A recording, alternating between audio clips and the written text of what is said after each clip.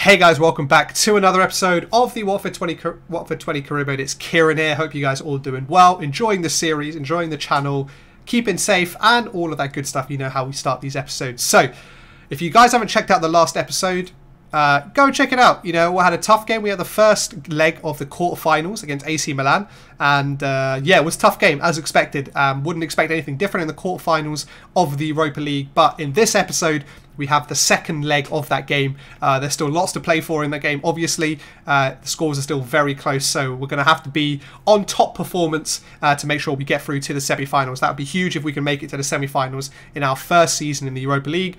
I think that would be huge. But we've also got Premier League games. We can't forget that we need to st still keep focusing and climbing up the Premier League because of the such poor start of the season we did have. Uh, so our first game's up against Chelsea. You know we've had problems against Chelsea if, you, if you've been following the career mode for a while. But yeah, let's jump straight into that first game and see how we do against the Blues.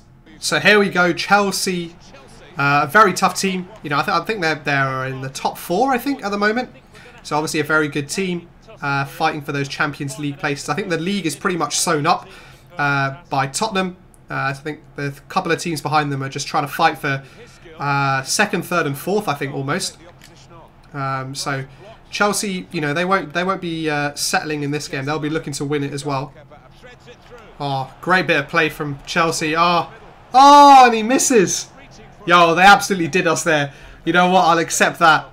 Uh, little one-two absolutely killed us. And Arkadiusz Milik with a, with a ridiculous diving header. So it was at this point that my capture card decided it wanted, wanted to play games with me in a huge, huge episode and decided to stop recording. But anyways, all you guys need to know is that Franck Yannick Kessie went on an absolute mad one. Uh, he scored two absolute bangers and Iñaki Williams getting the third goal for us. Uh, so we came away uh, with a 3-1 victory against Chelsea. Huge one. But I managed to get the capture card working again and we jump into the most important game of this episode and that is the second leg of the Europa League game against AC Milan. Alright, so big game. You know how we do. Um, we got to we got to get the win here. Oh, referee! Both of our players got taken out there. That was poor, man. Yo, these European teams are savage. Oh, great play. Iñaki. Oh, blast it in. Yo. He says, defenders, get off me, man. You're not messing around with me. He's had enough. He got taken out there by the defenders. He says, he says, no thank you, and smashes it with his right foot. And that is a huge goal in this game. And now puts us ahead, and obviously gives us the away goal as well. Which could be absolutely huge in terms of determining the result of this game.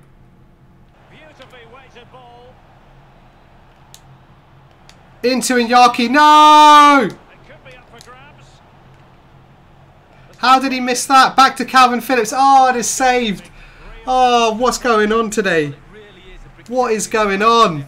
Oh, man, we this second goal could be huge. Give Could give us a bit of daylight.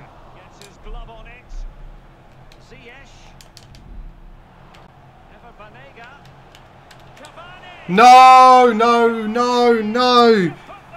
We knew with just a one goal lead, one goal will put them back into the game. It was poor defending by us. Should have should have seen that run from Cavani and he squeezes in at the near post. Ah, come on. Come on, man. We've got to do better than that.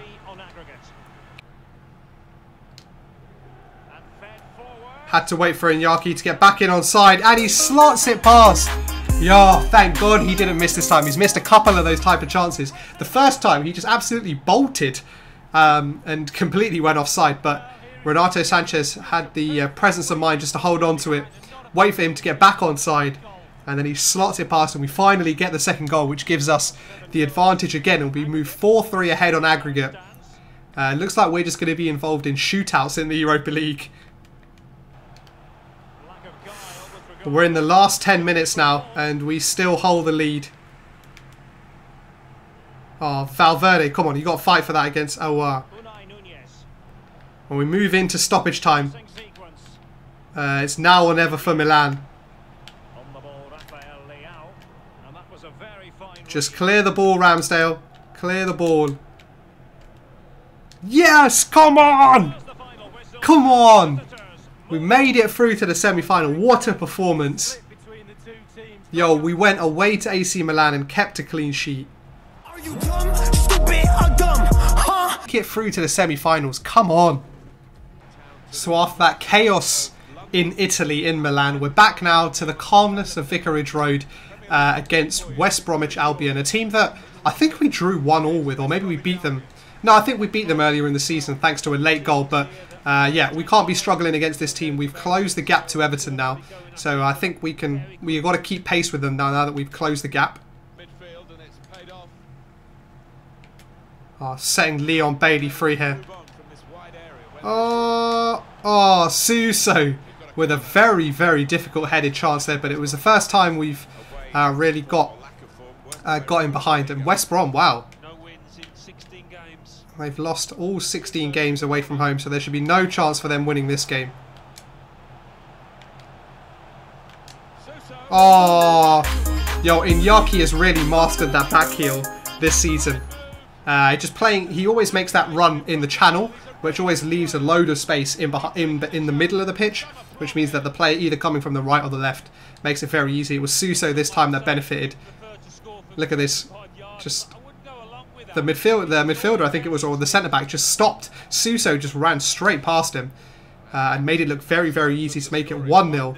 And hopefully that opens up the floodgates now. What? What? What? How's Ramsdale going to come out and then just stand there? Not sure what Diop was doing there. Uh, in the second half of the season, I'm really questioning Issa Diop. I know we paid quite a bit of money for him, but I don't know. I'm just I'm not sure whether he's good enough. Uh, when Rob Holding isn't playing, we just look uh, so much weaker at the back.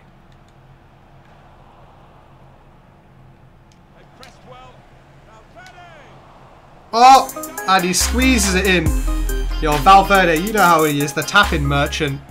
Federico Valverde. I thought he might have been offside there as the ball ricocheted back. But could have, should have scored on the first attempt, but it came back to him. and the keeper was just flailing on the floor as uh, Valverde was able to just head the ball past him and we re get we get the lead back. Uh, we shouldn't have 11 lost it in the first place. But uh, yeah, hopefully this time round we will make not make the same mistake again and uh, just ride off into the sunset. here's the chance to get in the cross. Oh, Suso bangs it in. Yo, Leon Bailey skinned his defender. Yo, that defender had no chance. Look at this.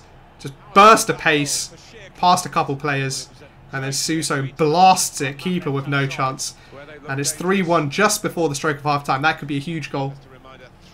Just knock the stuffing out of West Brom. And uh, should be game over now.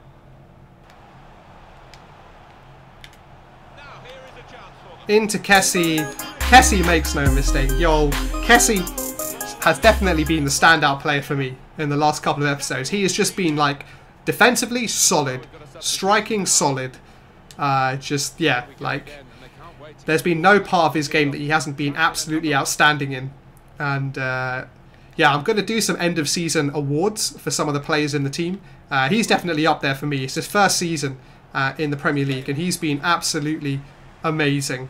Coming up for you is Renato Sanches. Kessier. There we go. Full-time whistle.